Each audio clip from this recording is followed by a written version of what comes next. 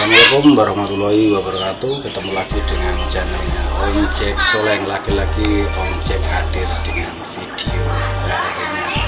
Dan video kali ini Om Jack hadirkan Yang kemarin Om Jack review Belalang goreng kulinernya. Sekarang Om Jack akan bikin tutorial Ngersi atau ngebersihin si belalang belalang yang Om Jack review kali ini akan Om Jack bersihkan adalah belalang kayu yang notabene yang kemarin Om Jack makan. Nah ini namanya belalang kayu ini yang paling gurih dan nikmat. Ini masih hidup dan masih seger. Dan sebelum Om Jack kasih tutorial ngebersihin belalangnya Om Jack ucapin banyak terima kasih atas supportnya selama ini buat channel Om Jack sehingga Om Jack masih bisa bertahan di 2020 walaupun kenyataannya masih sulit untuk cari dan semuanya itu jadi kendala buat kita para youtuber lebih giat dan lebih semangat lagi membuat konten yang menarik dan Om Jack bisa doakan agar channelnya bos-bos semua bisa sukses seperti youtuber youtuber terkenal di Indonesia.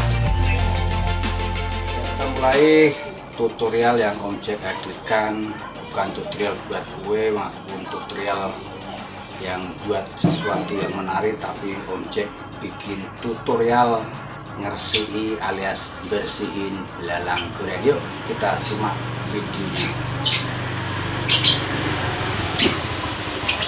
Nah, kita mulai dari ambil belalangnya yang kita mau bersihkan. Pertama yang kita ambil yaitu yang kita mau bersihkan adalah sayapnya. Tujuannya apa? Biar dia nggak terbang ke mana-mana bosku.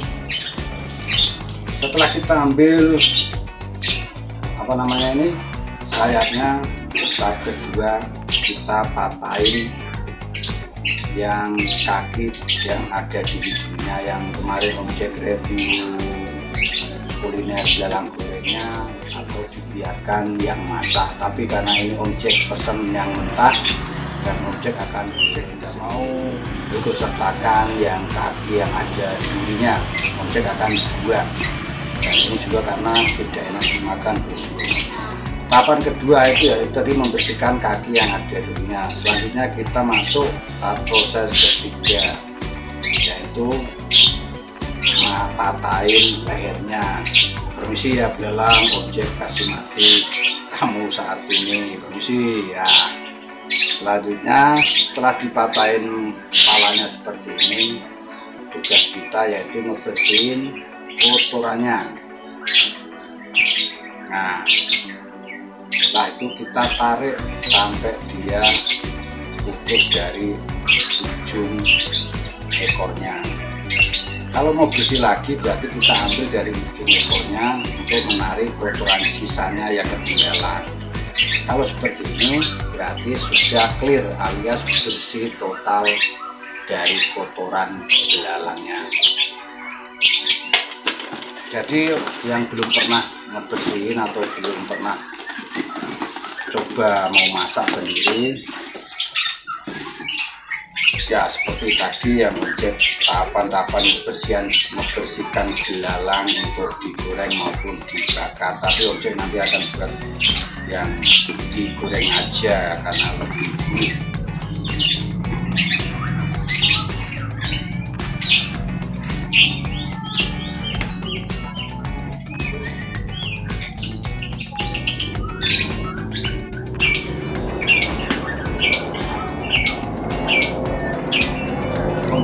ini per paket satu kardus ini masih hidup dengan harga 80.000 mungkin lebih banyak yang dari kemarin. Kalau kemarin kan sudah matang jadi cuma dapat sedikit alias satu kotak kecil 60.000 kalau ini agak banyak dibeli dengan 80.000 rupiah. Lagi-lagi objek pesan online dari Murah prosesnya agak prosesnya agak lama karena per satu ekornya juga butuh waktu sekitar 30 detik untuk membersihkannya.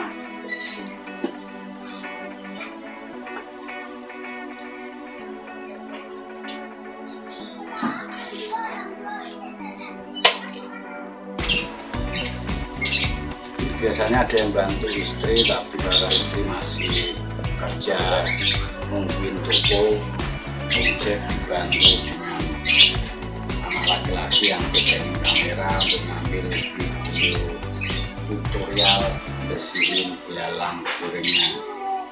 Belalang yang di objek besi ini adalah belalang kayu namanya. Untuk belalang yang bisa dikonsumsi lagi adalah belalang yang disebut belalang padi. Itu yang hidupnya di padi-padi itu juga enak tapi lebih gurih belalang gorengnya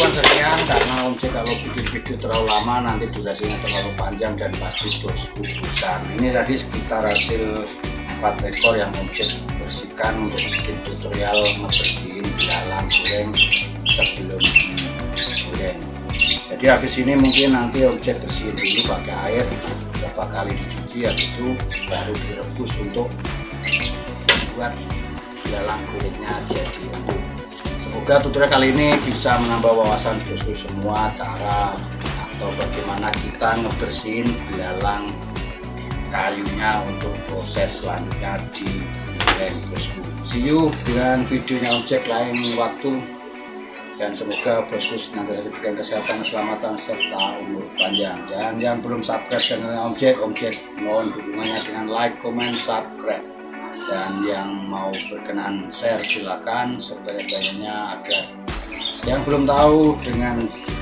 video dari objek bisa tahu dengan share-nya semua. Wassalamualaikum warahmatullahi wabarakatuh.